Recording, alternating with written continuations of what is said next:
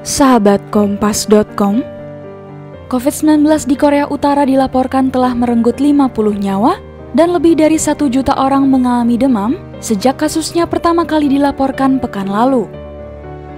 Wabah terus merebak meskipun pemimpin Korea Utara Kim Jong-un telah memerintahkan lockdown nasional sebagai upaya memperlambat penyebaran virus di populasi yang tidak divaksinasi itu. Kim Jong-un geram dengan penanganan pandemi COVID-19 di negaranya.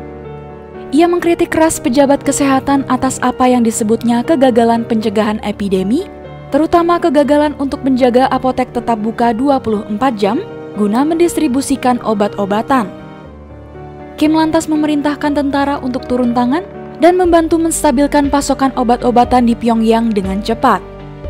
Kim Jong-un menilai Kegagalan mendistribusikan obat-obatan dengan benar adalah karena pejabat kabinet dan sektor kesehatan masyarakat belum bekerja keras serta tidak mengenali dengan benar krisis yang terjadi saat ini.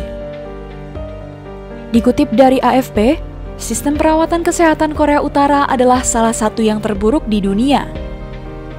Para ahli mengatakan peralatan rumah sakit Korea Utara tidak lengkap, hanya terdapat sedikit unit perawatan intensif dan tidak ada obat perawatan COVID-19 atau pengujian massal.